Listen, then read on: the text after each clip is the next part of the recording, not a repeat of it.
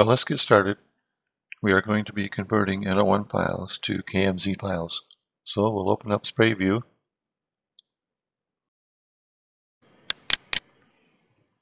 And uh, we have to load in our polygons. So I'll go to the open area folder. And here are all of the polygons here. There's a lot of them. But when you do the conversion to KMZ files, you only get one polygon. In this case, it would be the offload NO1. Now you can you can select all the polygons if you want, but you're going to get just one. So I'm going to select the offload, which will automatically pull in the data from the offload folder, and one more polygon just to make that work. So we will open. Here's the polygon here.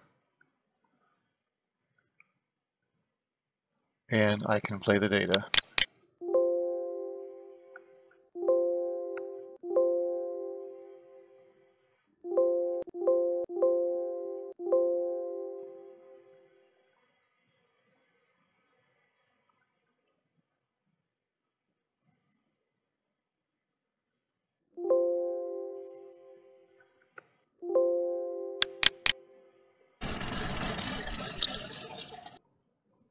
To convert this data to KML, we will go to the Open menu,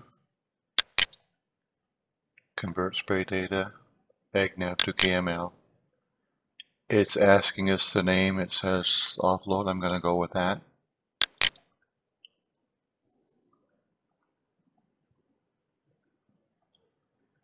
And here's our form that we can fill out when you uh, do the conversion, the form information comes from the GIA. And if you select Use Default, this information comes from SprayView, saved from the last time you generated a report. Or you can go to Load Default Information,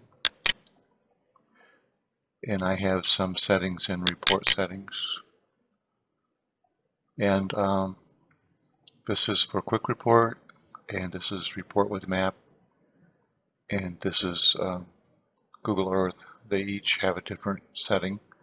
So when you save it, I just named it with the Google Earth or quick report or report with map. So you can open those up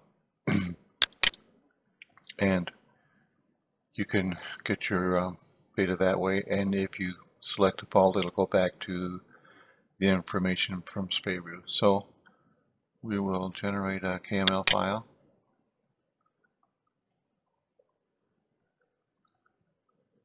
And it's done. You might want to convert all the polygons in Google Earth. That's what I would want. And it makes it easier to see the assignments that the pilot had. It's not too difficult.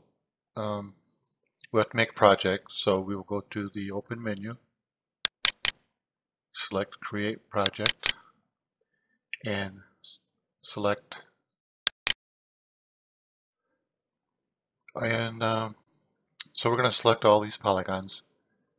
We can hit control A on the keyboard or I can just uh, left click and drag through them all. Open that looks good and then we will go to save project. I can rename this so I believe I will. And I'm going to rename it Ag Project Offload.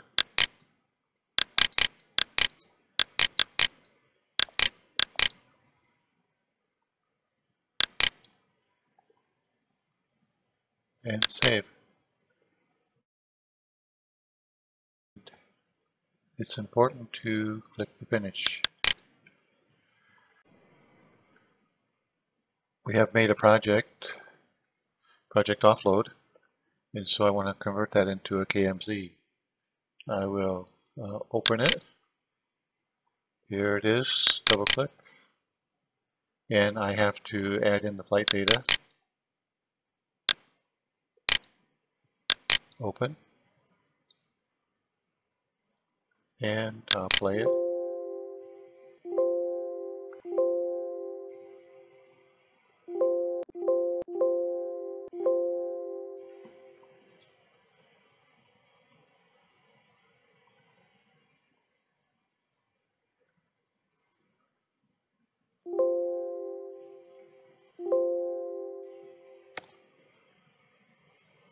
Okay, we're done with that.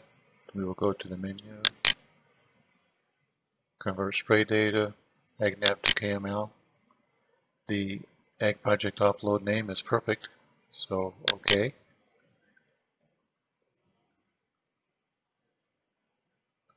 Here is the form again. We will generate the KML file.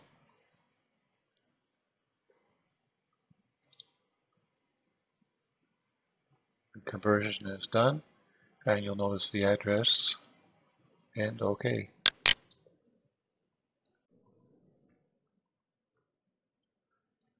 The KMZ files are in the workup folder, so let's go see if we can find them.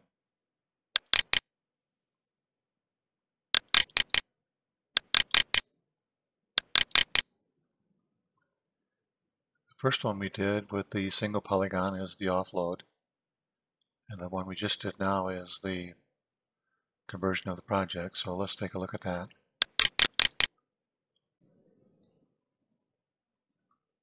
Here's our offload and the polygons on the islands here. We'll zoom into these right here.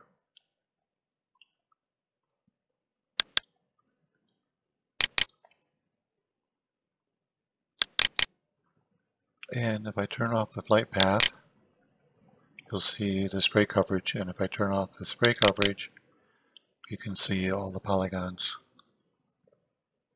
So I'll put those back on. And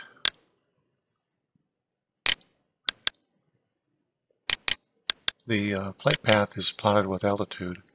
So if you tilt Google Earth, you can actually see the altitude.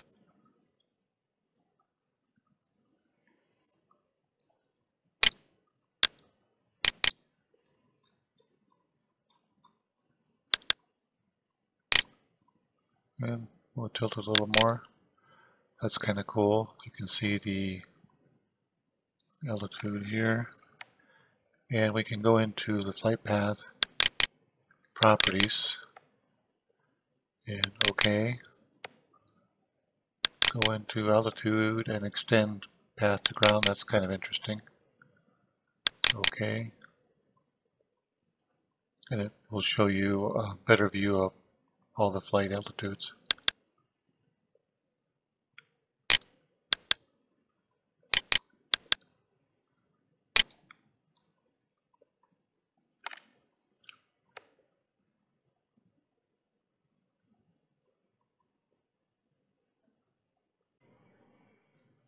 Also, we will take a look at the report. And here it is here. And if you've selected spray points when you did the conversion, then you can turn the spray points on. We'll see what those look like. And spray points are right here. Turn them on. And we have all these little points and you can click on them and you'll get a little report for each point. It's pretty interesting.